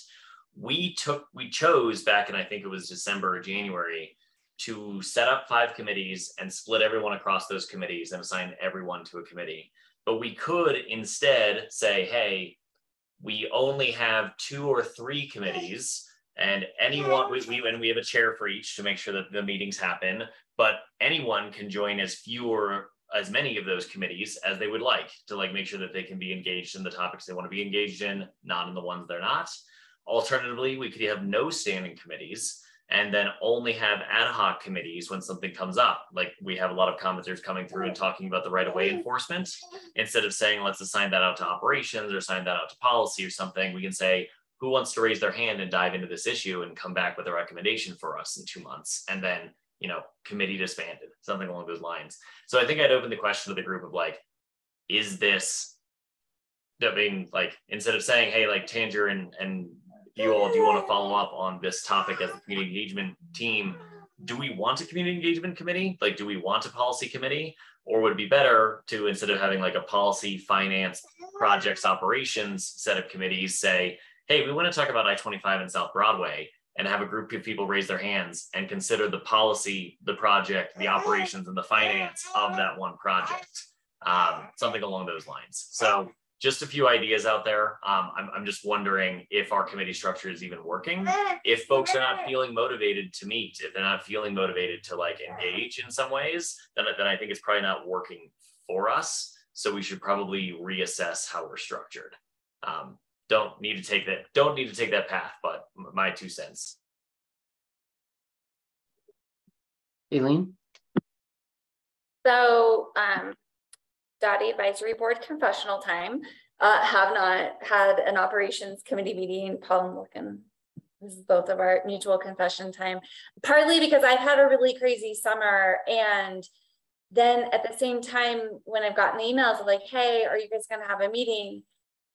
I didn't know what we were supposed to meet about, and I think that com- I I would kind of support Jonathan's suggestion um, I mean, if this committee today can say, this is what operations committee needs to ch chat about and say, Aileen and Paul, you guys need to meet and this is what we want you to look into and come back to us at such and such date with a report, awesome. Um, but I think we could be maybe more responsive. Um, I, I guess if that's not the case, then I would say I can be more motivated personally and feel like I'm contributing more to something that actually needs attention, be more response, we can be more responsive collectively as a committee if we kind of go the route of Jonathan and, and perhaps there's a middle ground. Um, but yeah, like uh, I, I can't remember all the reasons why, but I think it's because I didn't submit a request in time. I got assigned to operations and now I'm not really sure what we're supposed to do. And I totally take fault for that. But if we can't sit here today and say, Aileen and Paul, you guys have to work on this, um, then maybe that's telling us part of our answer. Jonathan? Sorry, uh, baby hit the raise hand. um, that's that's a better skill than than many people on many Zoom meetings. So uh, impressive. Um, I think that um, I I do agree. I think I think the conversation of how our subcommittees are working is is probably um, one that we really need to dive into uh, quite a bit. Um, I think that um, what has worked well for the policy committee, um, being a member of that committee, is that we set a monthly cadence. Um, that is something I'd probably recommend to every committee um, because then we, like this meeting, just know when it is every month. Um, and and then I think there's uh, probably some things that um, maybe we should review with each committee and the purpose of each committee. Um, I I think that we had established like an initial list of committees and then the purpose of each committee. Um, and I think that the thought being that for some of those committees, it would be very um, clear, right? Like the budget and finance committee, it's like pretty clear that the budget and finance, like the upcoming budget announcements, right, are something that they need to be paying attention to, right, and creating purpose around for for policy, we knew that you know we were seeing things with you know both the right of way and some of the scooter rules, um, and and came to address them. I do think that um, at some level we probably do need each committee to have some ability to set its own goals um, as as kind of what is seen in that area, and then come back with some commentary from that committee to the whole board on on things that they're seeing in this area. Um, and then we can have a bigger conversation about that. Um, and then I do think the other way that information is going in these committees is right as particular topics are coming up either in public comment or as we discuss them. Um, they're they're going to committees. I know we had viewed the community engagement as a bit of a committee that would help us route some of that as well as create structure around how we collect information. Um, but I think maybe it does revolve uh, you know, a review. If a committee's not meeting because they don't know what they should be meeting about, maybe let's have a conversation about the purpose of that committee and see if we can come up with something that's that's uh, that fits more as a goal and can be kind of self-sustaining as having its own goals as a committee. So that that would be some of my initial thoughts. Joe. Yeah, um, I don't think yeah it should be either or, and I like the standing committee, and obviously I think we've gotten some stuff done on the policy and everybody's worked hard to, to do that, but it actually hasn't taken that much time, although maybe Jamie has put in an ordinate amount of time. But I, I like that. And then when special projects come up, I agree with Jonathan. Then because they involve all these groups, maybe there is just a, a project by project committee that work that works on it. But I mean, I think if you're going to be on this board, you got to really contribute on the commu- on the committee level and that should be all of us should pledge that that we're going to do what we can and if we don't think the committee we're on is kind of it lacks purpose or something like that then let's reformulate let's reshuffle the deck and all that but i kind of like to see that and i'd like to know that the outreach community is is reaching out at least to themselves if not more people because the policy committee would love i think to have some information out the community of what policies we're setting so we can all work together. Just we got to give it a little bit more effort. I guess that's what I'm saying.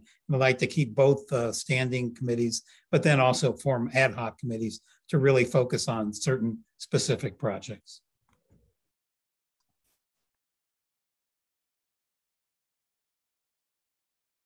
Sorry, uh, Tangier, I forgot my role as co-chair here for a second there. You're up next.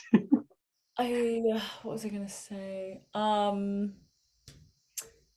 let's see. I completely forgot what I was gonna say.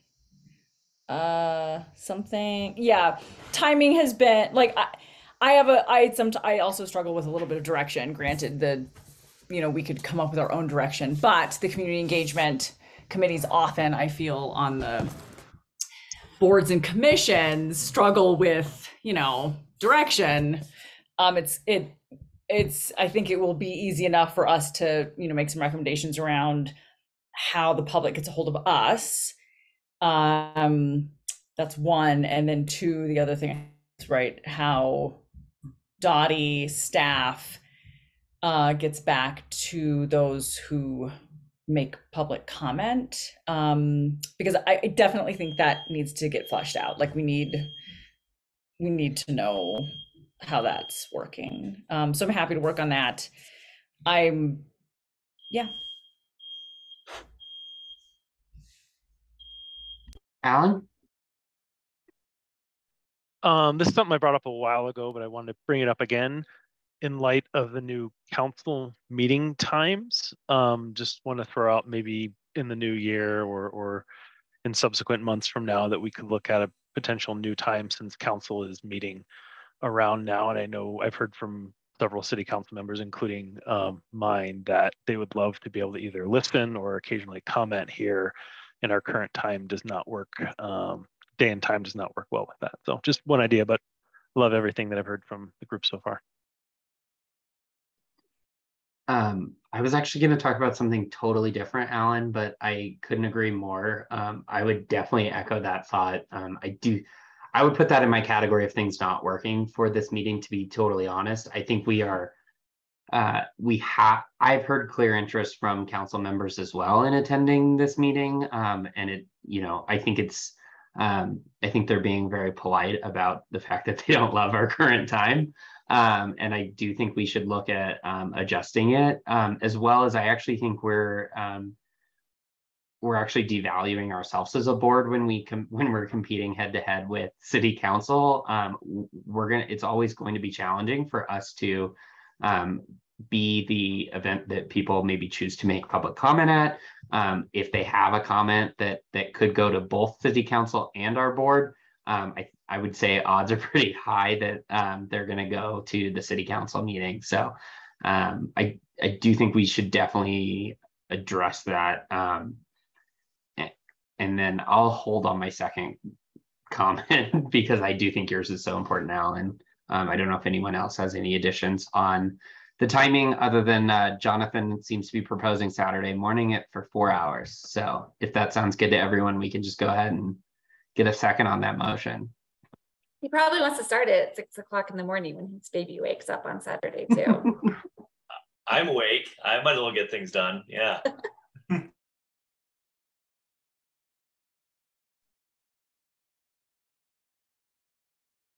Any other commentary on timing of the meeting?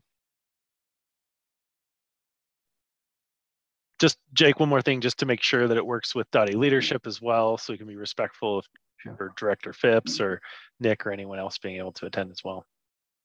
Yeah, Th- this is Julie. I just wanted to say, I think if if we change it, like some of us set our calendars out pretty far, so like uh like very significant amount of notice.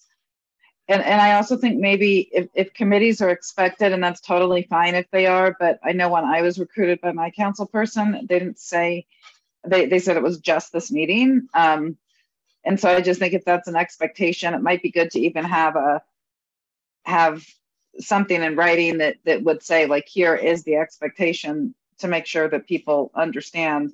And again, I'm I'm fine with committee. To me, it's always about scheduling. Like that's always my challenge. But we should just be clear with what those expectations are.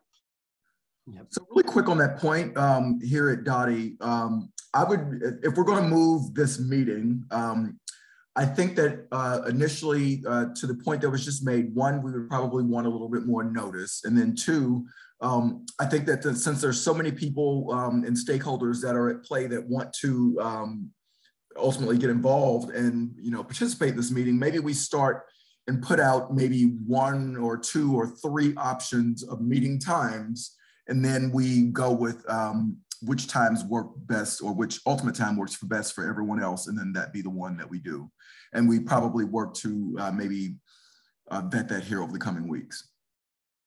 Yeah, I think that makes sense. Um, maybe first a follow up on this call. Um, maybe Jonathan, you and I can talk about how, how we set up maybe an electronic uh, way of maybe a doodle poll or whatever to kind of get an idea of timing, and we'll communicate out to that. I don't think it would be possible to do the September meeting under a new time at this point because we've already committed speakers, so it would at least be um, October or beyond at this point, but um, we definitely, um, if not farther, I don't know how far out our schedule goes online, so we'd have to figure that out. But yeah, I'd agree. We should we should it should be at least three months out for a recount, yeah. if not if not longer. Yeah. Perfect. Cool. Um, sorry, Jonathan. Did you have other comments? I saw your hand raised as well. Uh, I did, and I've forgotten it now, so I will raise my I'll lower my hand. All right. Um, I think that uh, I would have raised my hand, but I did not. Um, the additional comment I had uh, after Alan that I saved for the meeting time is I do think that one thing that I feel like is not working super well is um, a bit of how this board is interfacing with the department. I don't know if that's a structure of our board versus how we're communicating the department. I think maybe some of the problem is uh, I think a lot of it's maybe getting funneled directly through Nick, and and I don't know uh, if there's, and, and maybe Michelle, this is something we could work on is is how do we interface into the department um, in different ways to get questions answered. I think I, th- I think we're going to drown Nick if we send everything directly to him. Um, so I don't know if maybe there's someone we should contact for how to route a question, or whether we need to look at maybe a different structure for how we're even um, communicating information to um, the DOTI team directly. I, I want to make this something that isn't um, a burden for the DOTI team, but also gives us ways to have um, the you know advisory role that that we're intended to. And I I don't know if others are feeling that same kind of challenge, but I, I think that um, I think we're asking Nick to play too much of quarterback maybe for in, a way that's that's maybe unfair. So to add on to that, uh, that's actually a good question um, to uh, bring up and talk about. Um, I think there's an opportunity for both, um, for really uh, me, Michelle, and Nick to uh, work or to brainstorm on what that would look like. And I guess maybe on you guys' end, if you guys could probably bucket together, uh, similar to the way you have subcommittees um, on maybe certain items, to where um, you know if you have a question regarding this particular item if um, we would potentially want to uh, route to a particular designated person. I personally don't mind if uh, finance related things come to me as a CFO. I think I've had enough engagement with this board to where um, if you wanted to send something to me, I'd definitely be uh, more than willing to uh, run point on that. And so um, I think the intent for Nick and I both being here is to not overburden one single person with um, items that come to the department as a whole. So um, I think by the time uh, the next meeting, um, when Nick comes back from vacation and he's not underwater here in the next uh, few weeks, uh, him and I can definitely talk about that and see what that will look like for uh, this team here. Perfect. That'd be great, Earl. Um, and maybe it's something as simple as maybe there's like instead of emailing one of you, there's maybe like a distribution list we could email. And I don't know. There's lots of ideas, but I, I think that's one thing I noticed that that seemed like maybe we weren't as efficient as we could be on how to make that work. Absolutely, yes, definitely. And actually, really quick, I have to jump because I have another meeting here in about four minutes. But it's been great talking to you guys, and we'll work to follow up on some of these other items as soon as possible. Thanks, Earl. Thank you.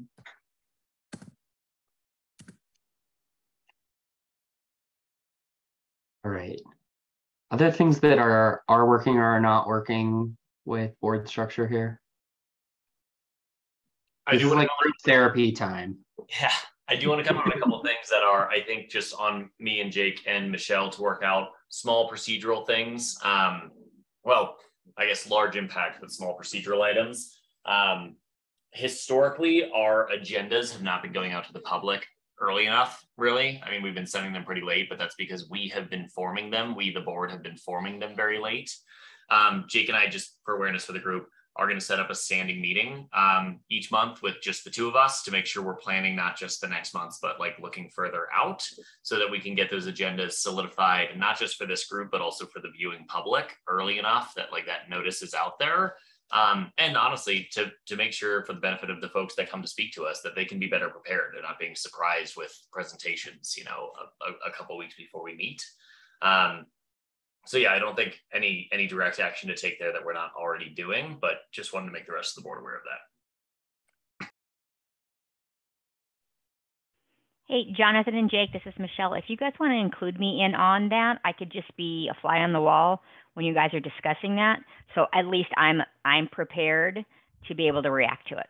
Yeah, I mean, honestly, that, that might be incredible because we could immediately say like, is like, do you know who we would talk to about this, or or any like, you know, what's what's within reason here? Yeah, yeah. Perfect. Thank you.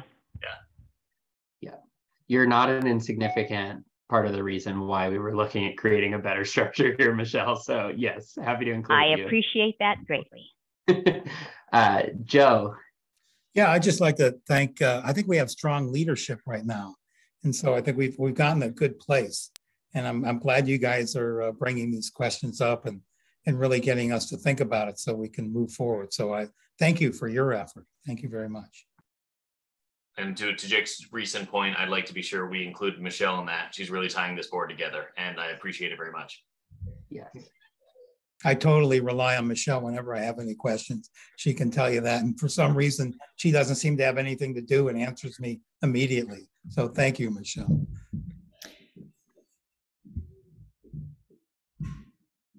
If we have the time here before we move to our, like our final agenda topic, I think I, I would love a little clear. Oh, actually, backing up to say, Jake and I haven't discussed exactly what we want to do with all this feedback, but I think a pretty obvious takeaway is we're going to be, you know, taking all this together and trying to brainstorm some recommended changes or solutions to the board.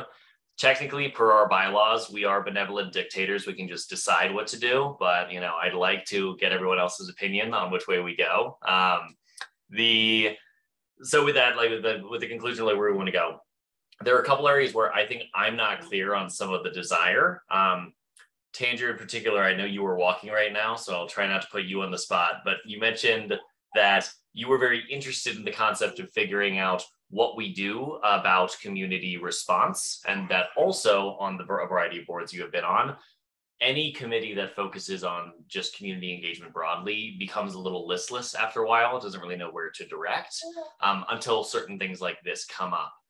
I'm wondering in your mind and in others' minds, um, would this be a good example of a situation where we don't need a standing community engagement committee because there might not be something to be working on all the time. But when things come up like this, like we want to figure out how we get an adequate response process and me- mechanism with the public, a few people raise their hands and say, all right, the three of us are going to take that on for the next month or two months or, or whatever it is, three months it is, um, and then break. Like we don't need, I guess walking away from this, I'm not really sure people are saying, I think I really like the standing committees. I just want to be on a different one, or I don't want them to be required, or I want them to be pre scheduled. Or if people are more interested in this idea of let's reduce the number of standing committees, let's make, say, like attendance or joining as many or as few as you want optional. And um, let's also make joining them at all optional. Like you can also just be a committed member of the board who's like, look, I don't currently work on any committees at this moment. I guess I'm I'm trying to get a sense from from not just Tanger but the group of like how much do we like the standing committees? How much do we want to focus on adjusting that? Um, what, what, what would get people like excited to be involved instead of feeling like that they are they have the burden of being involved? I guess. I, per, uh, to be completely honest, having another meeting with the subcommittee in the month feels like too much, which is partly why I haven't done it. Um, I like the idea, and I'm, I am of, of like if it's project by project, figuring out like who is the contact, who do you refer people to. I like that idea. I like the idea of figuring out how, yeah, how we get people responses to their questions. Um, so uh, you know, would be would be happy to do that. That doesn't require meeting every single month. Um, I don't know about community engagement around projects. Like, you know, there's some learning to do here about what DOTI's, um, what their standards are around how they engage with community around certain projects. I don't, I don't know if our if you know we're in a place i guess we can make recommendations that's you know that's our role is to if we hear about a community process that didn't go so well or something but that's that's getting into sort of another task and I, i'm not sure where i sit with that no, that makes sense i mean even just hearing that you're like hey i think another demanded meeting every month is too much and to julie's point that wasn't sold to us as part of the board that I have to do this. I mean, that's really good feedback for a new structure for us. Yeah. I really love the idea of having the list of, you know, DOTI representatives for the district and who you reach out to for maintenance and all that. I know that it changes, but like at the least we need that so that we can tell people, point people in the right direction. I don't know how keen DOTI is on sharing those lists of people's contacts and names, but I have I think everybody should have all the information. um, yeah. And yeah, happy to research. Like, um, anyway, I'll stop there.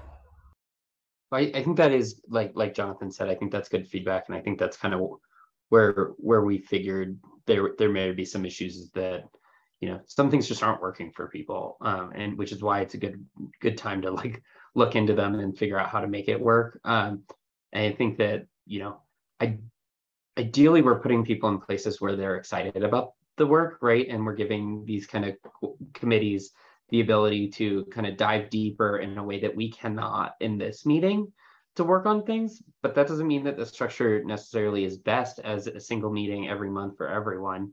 Like obviously uh, this summer you did your own community engagement with your with your Colorado Sun piece. So like we know there's ways that you want to engage in the community, right? That could be very different. And I think that maybe that's just our path is figuring out what does that look like? And, and maybe for community engagement, it really is out of place as, a standing meeting. Um, and, and we got to figure out how to, how to find that path. Uh, but yeah, definitely tinker on it and, um, and, and figure that out. But I, I think we want to, how, how do we concentrate this energy and put it in the right spots and make this, this, this meeting and this, this board be something we can all be really proud of. Um, I think is the goal, but Aileen. Yeah, so I think I want to add a few things that I heard you guys talk about. Um, so I think Tangier made a comment about, you know, uh, what's going to get me really jazzed up to go to another meeting each month. And then Jake, you made a comment then about concentrating our energy on certain in certain areas. And I think maybe it's because I, mean, I certainly can own this that maybe I haven't been able to pay enough attention to the current committee structure. That being said, I it feels a little feels like we're really spread thin, and I'm I'm a little. Um, I've seen us take on some tough issues in a few of these meetings where we concentrated our energy together in spaces where I think we're really passionate about as a group and I feel like even in those short, brief moments, we've made minor amounts of headway that I think will will make a big deal. And I got I'm a little worried. Maybe I need a little bit more education and reminding, but at the same time, I would just like to ask the question of like, are our committees spread too thin? I mean, Paul and I are the only people on our committee, and are the other committee do other committees have two or three people on them uh, also? would, would we be more served, would Paul and I be more served or the committee or this community be more served if Paul and I then put our energy into another committee that it's really clear what how to push the needle. The last thing I'll say that I remember us having a very early conversation about was being very intentional about our committees and matching them to the areas that this this committee or sorry this count advisory board can make an impact on. And so maybe, sorry, we're making dinner at my house. Um, where I think I'm still a little unclear where these uh, where these specific areas are going to make big impacts on. Maybe I just need to be schooled, but those are my observations. I would just add as we contemplate this issue. And I that being said, I still think we're doing really good work and it's we're just really perfecting something that's still quite new. Thank you, Aileen. Um, any other thoughts on our ops review uh, before Jonathan mentioned us benevolent dictators take it back? At least he said benevolent, which I'm glad about. Chris has got his hand up. Chris has got his hand up, yeah. Oh, sorry, Chris. I didn't see that one. Oh, no, no worries. Uh, I just want to echo what everybody, what I think everybody is saying and the fact that, you know, I'll, I'll give you an example for, you know, Alan is doing a great job of leading the finance committee. However, there's only two or three people in it, and sometimes we can't. A couple of us, if two of us can't make it, we can't have a discussion. So if the group can be bigger, so we can hold a quorum, that helps at least advance the discussion. And to what I think, I think I heard Director Levy say, and what I heard Director McCollum say is like, you know, hey, if we can just get those groups bigger and have these ad hoc ones that you all are talking about, I think that'll service those really well. And that's typical of what I've seen of other boards. For example, I, am on a board that, you know, there's a, well, what is it? Uh, now I'm blanking out on the term, um, ethics board. The ethics board hardly ever meets unless it needs to meet. So, you know, for example, if Tangier and others want to get together and discuss how we're going to communicate with the community on a specific topic, create a policy for that, great. You meet the, meet on that, get that going. You don't have to meet until something else comes up. So just again, I think I'm echoing what everybody else is saying. I apologize for repeating that to everybody, but um, I've seen that work in other areas. So again, it's not uncommon. Great. Thank you, Chris. I appreciate that. Alan? Yeah, I just want to echo um, the finance committee when we were given direction and we needed to do that letter. We jumped on it. We met as a group. We came out with the recommendations. Chris and Kurt were great on that. Um, so I think if you give something that people are passionate about or direction, I think it's always good. I, I'm leaning towards the hey, maybe we consolidate committees or consolidate meetings a little bit, give proper expectations about you know what each group needs to do. So that's just my two cents. Thank you. Yeah. Cool. All right. Any other comments on the ops review? And or at this point, I'm just going to open it up to other odds and ends as well.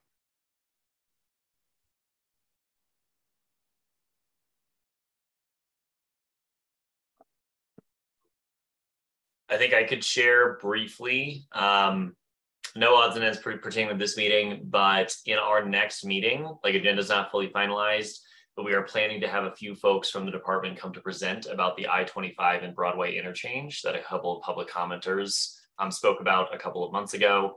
Um, ideally, this has not been scheduled yet, but a, a, couple of our projects committee members will meet with them in, in advance to share what we've heard and researched and learned and like do or do not understand at this juncture in hopes of co-crafting that presentation to some extent and making sure it's an effective one for this group. Um, don't have a complete agenda and timing yet, but just uh, giving everyone a heads up that that's what we intend to talk about next month.